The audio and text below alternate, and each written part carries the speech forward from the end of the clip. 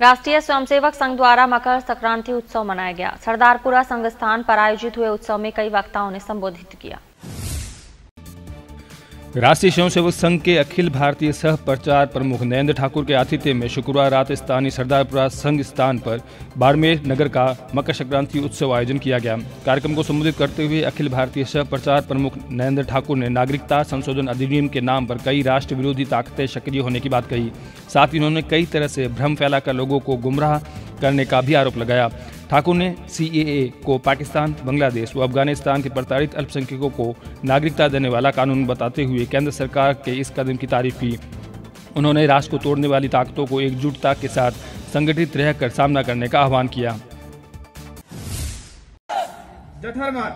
एक, दो, तीन, चार, पाँच दो तीन स्वागत प्रकार।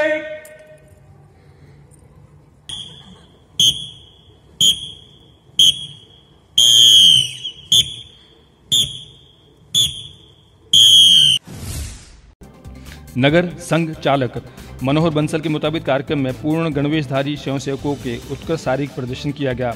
दंड योग सामान्य योग, सूर्य नमस्कार, क्षमता नियुद्ध दंड के प्रयोग आदि को स्वयंसेवकों ने सांघिक प्रदर्शन किया। इस दौरान प्रांत कार्यवाह श्याम मनोहर, प्रांत प्रचारक योगेंद्र कुमार, अखिल भारतीय साहित्य परिषद के क्षेत्रीय संगठन मंत्री विपिन चंद्र, विभाग प्रचारक राजेश कुमार आदि मौजूद रहे। कार्यक्रम की समाप्ति पर स्वयंसेवकों द्वारा लाई गई तिल गुड़ से बनी प्रसाद का वितरण किया गया।